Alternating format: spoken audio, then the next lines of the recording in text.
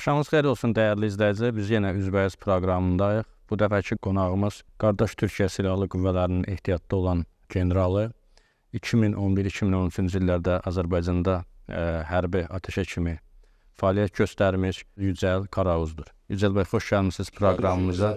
Sizi Naxçıvanda qədim Türk diyarında salamlayırıq, xoş gördük ə, və Naxçıvana gəlmək səfərinizin məqsədini öyrənmək istəyirik və bundan öncə isə son bir əsrdə regionda baş verən hadisələrə istərdim sizin baxışınızla nəzər salaq. 20-ci əsrin əvvəllərində həm Azərbaycanda, həm ə, qardaş Türkiyədə hansı proseslər baş verirdi və bunun nəticəsi olaraq Qars müqaviləsinin imzalanması və Naxçıvana muxtariyyət statusunun verilməsi məsələsinə toxunaq. Öncelikle Muzaffer Ali Başkomutan, Muzaffer Halkın ve Muzaffer Orduların muasır e, medeniyet diyarı Nahçıvan'da olmaktan duyduğum memnuniyeti ifade etmek isterim. En son iki sene önce gelmiştim. Her gelişimde e, Nahçıvan'ı özellikle daha da gelişmiş, daha muasır buluyorum. E, bu en son Haydar Mescidini gezdim. İslam alemi için e, örnek bir, numunevi bir mescit olmuş. Diğer eserlerle beraber. E, buraya seferimiz e, Türk Dili Konuşan Ülkeler Konseyi adı altında 2009 yılında kurulmuş olan e, Türk Devletleri Teşkilatı'nın 15. yıllığıyla e, ilgili geldi. Tabii biz e, Azerbaycan ve Türkiye aynı soy, aynı kök, aynı tarihten beslenen e, bir milletin iki devletiyiz. Biz e, istikametimizi, yolumuzu Ulu Önder Mustafa Kemal Atatürk'ün çizmiş olduğu Azerbaycan'ın sevinci sevincimiz, kederi kederimiz ve umum milli lider e, Allah rahmet eylesin Aydar Aliyev'in ondan sonra biz bir millet iki devlet şuarından alarak besleniyoruz. Bu geçmişte de böyleydi, bugün de böyle, gelecekte de böyle olmaya devam edecek. Tabii ki e, 19. yüzyılın sonu Osmanlı Emperyası'nın son zamanına denk geldi. Batı'nın deyimiyle hasta adam olan Osmanlı İmparatorluğu Birinci Dünya Savaşı'nda yedi cephede birden savaşıyor. Tabii ki devlet geleneği çok önemli bir şey. Aynı Azerbaycan'da olduğu gibi. Azerbaycan e, 1918-20 e, ve 1991'den e, sonraki dönem gibi algılanıyor ama onun da devlet geleneği Ahmetlerden itibaren köklü ve geçmiş bir devlet geleneği var. Osmanlı Emperyası bu devlet geleneğinin gereği olarak Kafkaslara olan, Azerbaycan'a olan ilgisini alakasını hiçbir zaman kesmemiştir. Özellikle Kafkasistan ordusunun Bakü'ye gelmesinin hukuki zeminini e, yaratan e, Trabzon ve Batum anlaşmaları Azerbaycan'ın e, yakın şarttaki ilk e, cumhuriyetinin kurulmasına sebebiyet vermiştir. Tabii ki Nahçıvan her zaman Ulu Önder Mustafa Kemal Atatürk'ün başta Kağıdın Karabekir olmak üzere hem siyasi hem askeri e, elitanın Osmanlı Emperyası'ndaki e, dikkat dairesindeydi. Bu bağlamda e, Nahçıvan'a olan e, Nahçıvan'daki jeopolitik ve jeostratejik önemi e, hem Azerbaycan'a açılan bir kapı olması hem de Türk dünyasına açılması gereken açılan bir kapı olmasından dolayı e, çok e, dikkat ve gaye gösterildi ve bu şartlar içerisinde yani Osmanlı İmparatorluğu'nun bitmesi ve e, Türkiye Cumhuriyeti'nin yaranma çalışmaları ki biz ona Kurtuluş Savaşı dönemi diyoruz verilirken bu Kars mukavelesinin imzalanması, Moskova mukavelesinin imzalanması e, olması gereken ondan sonra bir varlığı bir milli birlik ve beraberliği ve Azerbaycan halkının ruhunun o günlerden bugüne gelen zafer yolundaki yolculuğun başlangıcı. Hətta nəzərə alaq ki, o dönemdə biz artıq İrəvan və Zəngəzuru itirmişdik. Evet. Yani o günkü şartlar hiç kolay şart. Növbə Naxçıvanıdır elə deyək ki. Çok, çok kötü şartlardı. Fakat ona rağmen ondan sonra bu dönemde bu o, hukuki zemin ve dikkat ve kaygı aynı dikkat kaygı yalnız aşk karşılıklı olur. Nahçıvan halkının da gösterdiği şevk, mücadele ve istek ve talep. Dün akşam da bununla ilgili çok güzel bir tiyatro e, izledik. E, çok e, mutlu oldum. Özellikle o Kars mukavelesini tarihi gerçeklik içerisinde anlatan. Dolayısıyla bugün bu muasır, muzaffer topraklarda, muzaffer lider ve ordunun topraklarında olmamızın sebebi temelini o zaman kuruldu. Ondan sonra bir ara dönem diye tabir ettiğimiz bir dönem var. O dönem geçti ve mütakiben e, 1991'de Türkiye'nin olması ve yapması gerektiği gibi her zaman olduğu gibi e, Azerbaycan'ı ilk tanıyan devlet olması açısından e, Azerbaycan'a e, desteğini gösterdi. Türk dünyasına desteğini gösterdi. hem Azerbaycan hem de Türk devletlerini ilk tanıyan ülke Azerbaycan oldu. Milli Lider'in e, Rusya'dan Nahçıvan'a gelmiş olmasıyla e, bu uzak gören siyaseti sonucu Türk dünyasına bakış açısı o, o 2009'a giden ve 2021'e giden yolun aslında başlangıç noktası demek olur ki Umum Milli Lider'in ortaya koyduğu yüksek siyaset, Ümit Köprüsü'nün açılması, o zamanki Türkiye'deki başçı olan e, Sayın Süleyman Demirel'in de hem dostluk kardeşlik temelinde olan bir şey. Yani ben inanıyorum ki tarihin dönüm noktalarından birisi o. Eğer o dostluk ve kardeşlik Umumi liderli ve Süleyman Bey arasında gerçekleşmese, Ümit Köprüsü açılmasa ondan sonra hem Sayın Cumhurbaşkanı'nın Nahçıvan'dan Bakü'ye gidiş süreci hem de o bugüne kadar şu beyannamesine kadar uzanan süreç çok farklı seyredilir. Tabii ki e, demin de ifade ettiğim gibi bu umum milli liderin yüksek siyaset öngörüsünün sonucuydu. E, bu o, bağlamda Azerbaycan ve Bakü'deki askeri e, eğitim işbirliği faaliyetleri aynı dönemde Nahçıvan'da da başladı ve Nahçıvan korpusunun daha muasır, daha e, muharip, daha savaşçı olması hem teknik e, konular hem teçhizat hem de eğitim ve doktrine yönelik faaliyetler e, başladı ve bu faaliyetlerin e, hem NATO tecrübesinin aktarılması, Türk ordu modelini diye Sayın Cumhurbaşkanı Ali Başkomutan İlham Aliyev'in ifade ettiği e, sürece geçiş konusu, komando birliklerinin yaranması dahil olmak üzere. Tabii ki e, bir zafere ihtiyacımız var. O gözlediğimiz, beklediğimiz, hasretle 200 yıldır beklediğimiz zaferi Muzaffer Ali Başkomutan Muzaffer orduları e, sadece Azerbaycan'a değil Türk dünyasına e, bahşettiler ve son yüzyılın Türk tarihinin en büyük zaferi Karabağ Zaferi'dir. Karabağ Zaferi o uyuyan ruhu hem Azerbaycan halkının e, kırılmış e, onurunu, başının eğikliğini ve göğsünün düşüklüğünü kaldırdı. Artık alnımız ak bir şekilde. Aynı zamanda Türk dünyasını. Onu söylemeye çalışıyorum Türk dünyasını. Nasıl bir e, Kurtuluş Savaşı mazlum milletlere örnek olduysa Azerbaycan'ın da Karabağ Zaferi diğer Türk devletleri teşkilatındaki ülkelere ve diğer hak, hukuk, milli birlik, beraberlik ve istiklal mücadelesi olan dünyadaki diğer devletlere de numune oldu. Bunun sonucu Şuşa beyannamesi geldi ki Şuşa beyannamesi dünyada hiçbir iki ülke arasında olmayan bir ilişki biçimidir. Şuşa beyannamesi neyi getirdi? Bugün 15. yılını kutladığımız Türk Devletleri Teşkilatı haline getirdi ve o Türk Devletleri Teşkilatı artık geçen hafta içerisinde ortak alfabeyi e, benimseyerek bir ileri adım atıldı. Buradaki e, konu e, tabii ki Azerbaycan'ın Kafkasların bölgesel gücü haline gelmesi ve Kafkasların bölgesel gücü olması dışında da en son COP29 etkinliğinde de olacağı gibi dünyadaki beynalak ilişkilerin dikkat dairesi haline oturdu Azerbaycan.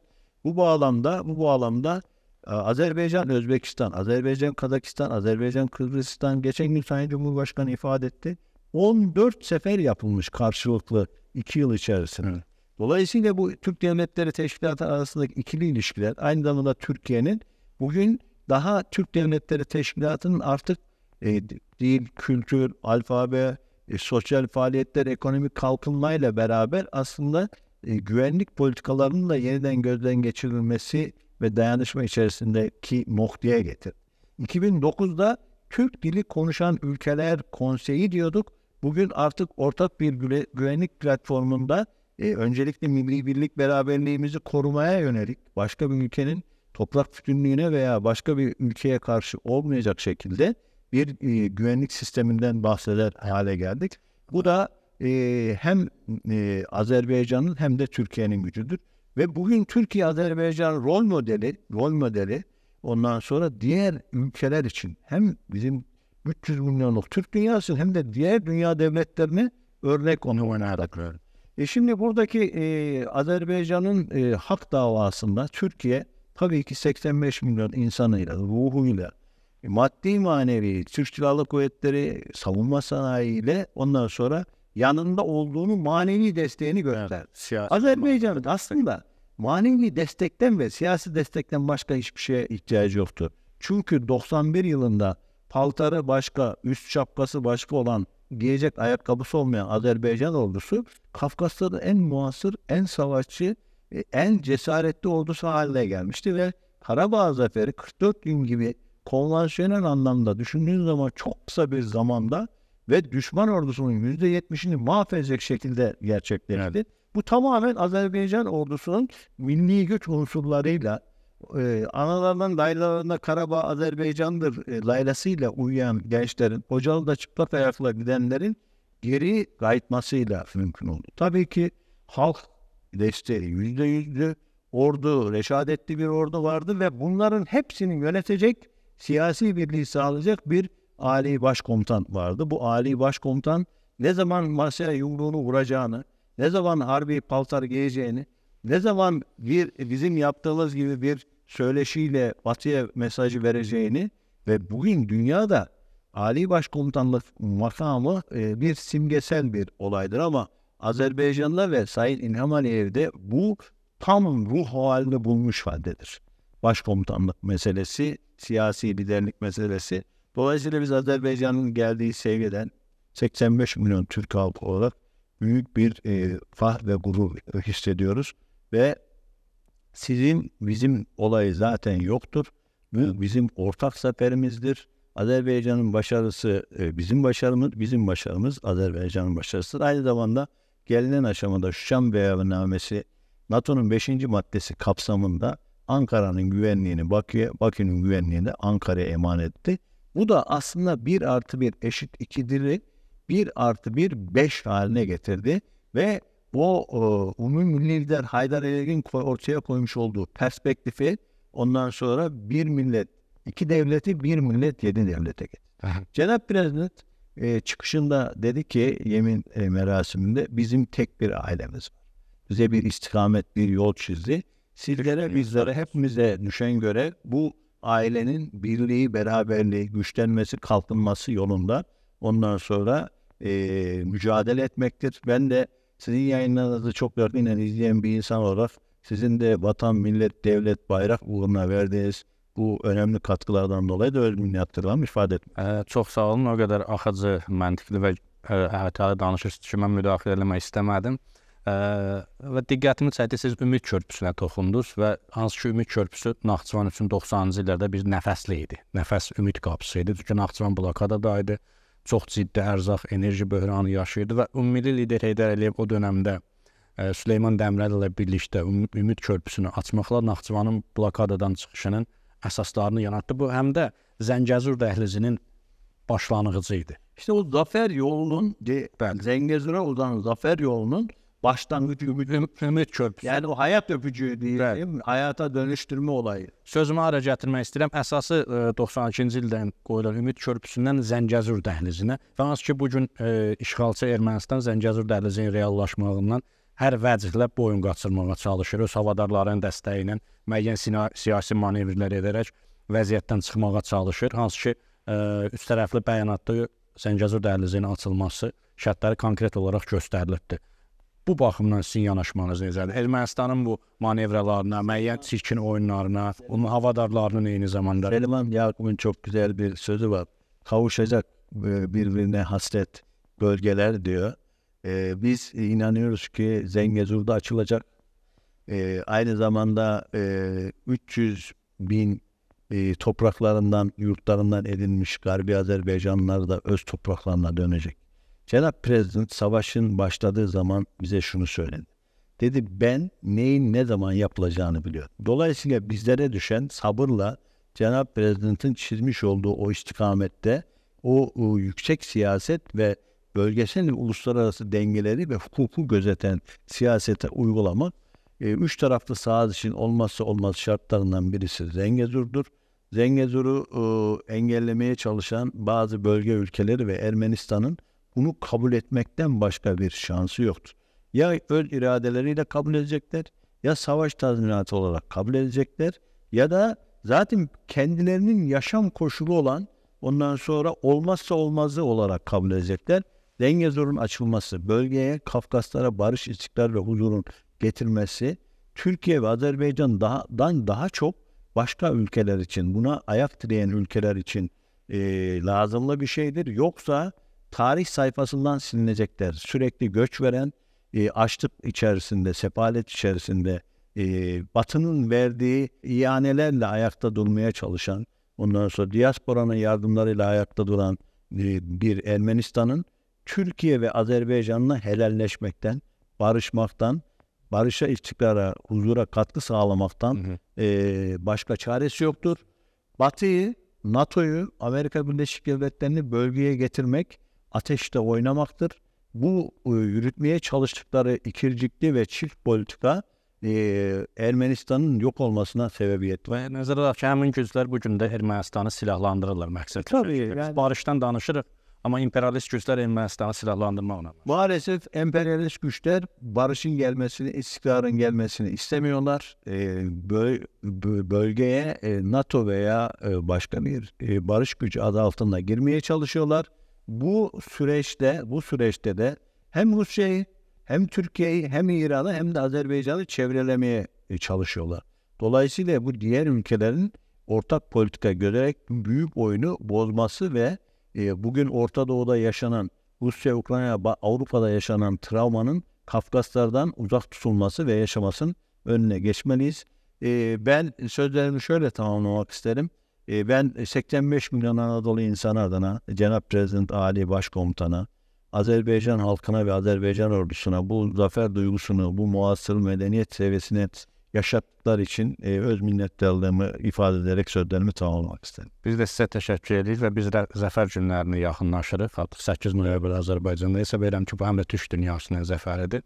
Və zəfərin qazanılmasında Türkiyə qardaş ölkələrdə mənəvi baxımdan, siyasi baxımdan daim bizim yanımızda oldular. Biz də sizə türk xalqına təşəkkür edirik və inanırıq ki, əsası Naxçıvanda qoyulan türk dövlətləri təşkilatı inkişaf edərək daha geniş və böyük bir platformaya çevriləcəkdir. Hansı ki, biz bunun böyük əlamətlərini e, artıq e, görməkdəyik və müasir dünya düzənində baş verən sizin də qeyd etdiyiniz kimi e, yaxın şərqdə Rusiya, Ukrayna arasında baş verən çox ciddi müharibə və münaqişələr onu göstərir ki, türk dövlətlərinin birliyindən, möhkəmliyindən başqa bir e, məsələ, məqam, istiqamət düşünülə bilməz və e, artıq bu bir daha təsdiq edir ki, ümummilli lideri Heydər Əliyevin, cənab prezident İlham Əliyevin, eyni zamanda qardaş e, e, Türkiyə Cümhuriyyətinin prezidenti cənab Rəcəb Tayyib Ərdoğanın yanaşması, bu birlik üçün ortaya qoyduqları, həyata keçirdikləri böyük layihələrin nə dərəcədə xüsusi əhəmiyyəti var. Biz zaman keçdikcə bunları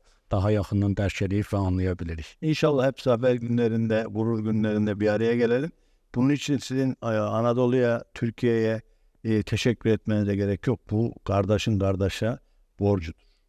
Çox sağ olun, təşəkkür edirik ki, bizim proqramımıza qatıldınız. Sağ olun. Dəyərli izləyicilər, proqramımız burada yekunlaşır. Qeyd edim ki, proqramımızın bu dəfəki e, qonağı qardaş Türkiyə Silahlı Qüvvələrinin ehtiyatda olan generalı hörmətli Yücel Qarağuzudur. Sağ olun, gecəniz xeyrə qalsın.